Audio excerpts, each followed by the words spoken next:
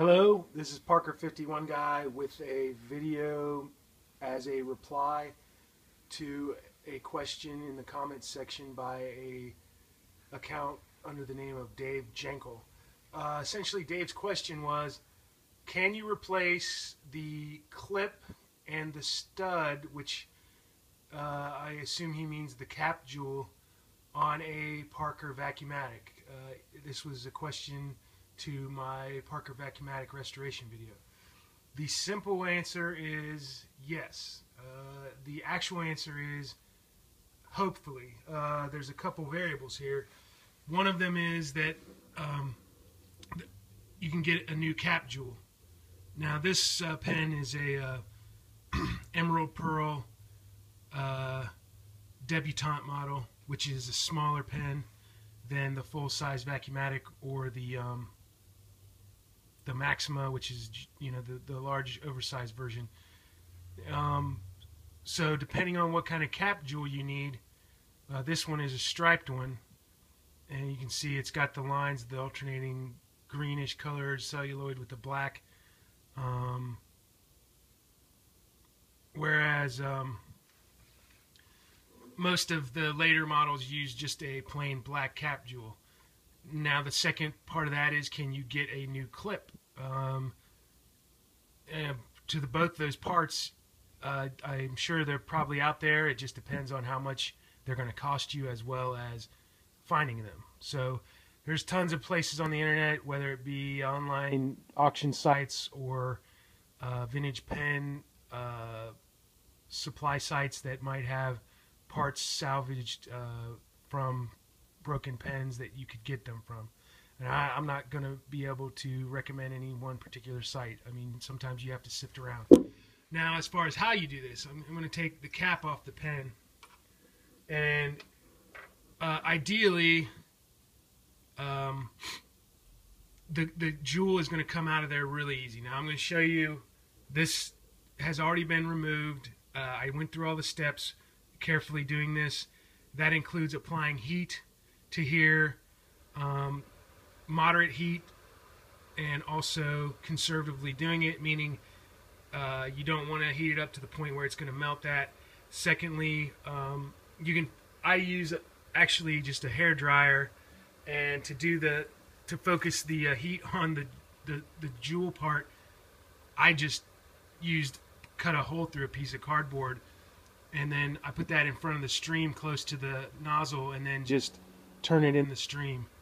Um, once again, I use the you know upper lip test, touching it, and you know if it's uh, moderately uncomfortable, then I know it's hot enough, and then I move on to actually several heating cooling cycles to kind of release that uh, uh, hold of, of the threads on there. Because here's the way this works.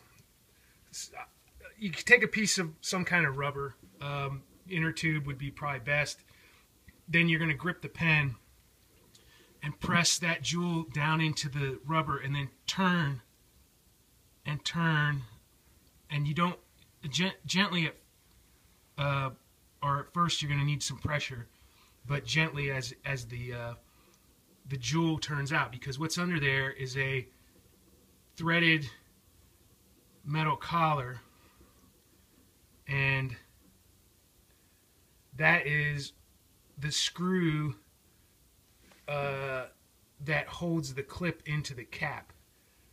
Um, to access the slot of the screw, you need to start to get that cap jewel out of the screw. And it has a threaded, it's hard to see, but it has threads on the, the shaft that goes down into that and there is the cap jewel. So uh, next, take a screwdriver that will fit that uh, slot in there, which um, right there it is. going to hold that clip so it doesn't spin, and then turn out the screw. Now your clip will come off the cap. Now, of course, if you don't have a clip, Uh, uh, assume you're going to have the broken part that goes up around the top of the, the lip of the cap. And as you can see, that part is is the threaded screw. And what you that actually, you know, the the jewel fits right down back into there. Um, you want to keep that there. If if the actual cap jewel broke off, uh, the most accepted method to get what is remaining out of there is to heat that in a flame until the celluloid that's remaining in there just burns out. Um, then once it's burned out, you can take like a uh, a brush. Uh, you know, if you could get a small metal brush uh, after you've broken out the uh, burn up pieces of the old shaft from the cap jewel, then you can clean those threads out and get this screw ready to go back in the cap. So basically you're going to reverse the steps and you know fairly clear you know hold it up on the top of the cap put the uh, screw back in and start it a little and then you just with the flat blade screwdriver tighten it not too crazy but enough. Now I think originally Parker probably used a sealant on the threads to hold that in there. Possibly although I'm not obviously first hand knowledge of that but people do say that the jewels were were held in place in there with a little dab of rosin uh, I myself wouldn't recommend it because if you have to take that off again, uh, let's not tempt fate. Um, it's easier to remove if it's not sealed in. So then once you get that back on, carefully make sure it's in threads and going and then tighten it down until you basically got it almost all the way in. Then what you can do is put it back down on the square of whatever you used to uh, grip it.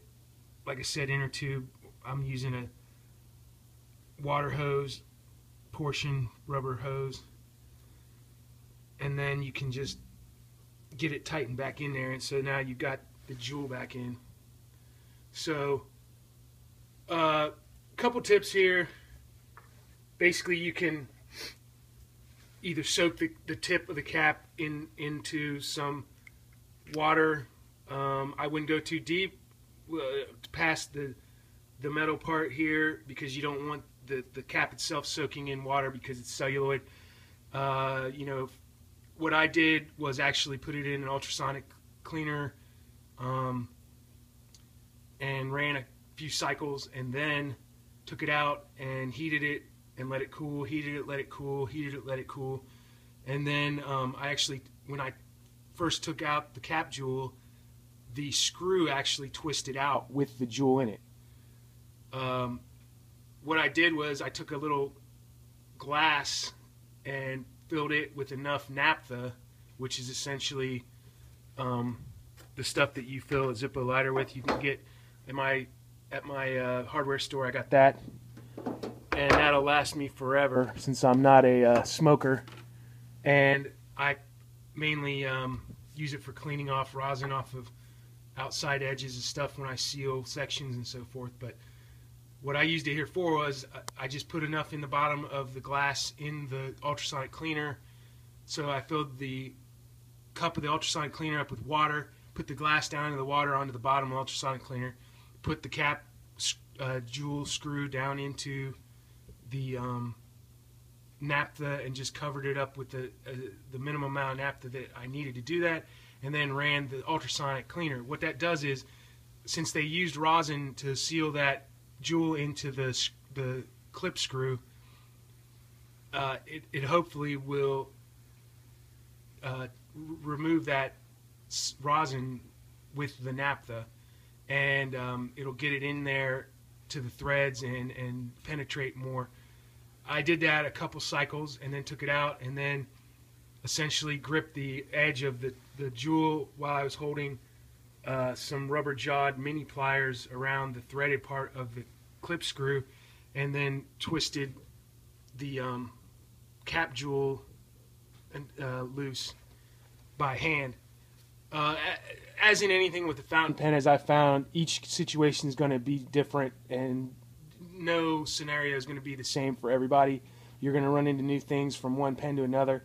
I cannot, by any means, go over everything you might run into, but these are some of the things I've encountered. So, those are the basics of how you can do that, and I hope that's what you're talking about um, when you ask me that question, Dave, because uh, not really sure exactly what you were referring to, but when you mentioned the clip and then the cap stud, I can only assume that's what you meant. So uh, let me know back uh, in the comments of this one if that is going to help you out, and I hope it gave some insight into the the assembly of, of the Vacumatic. And uh, keep your eyes out for new videos in the future. Thanks.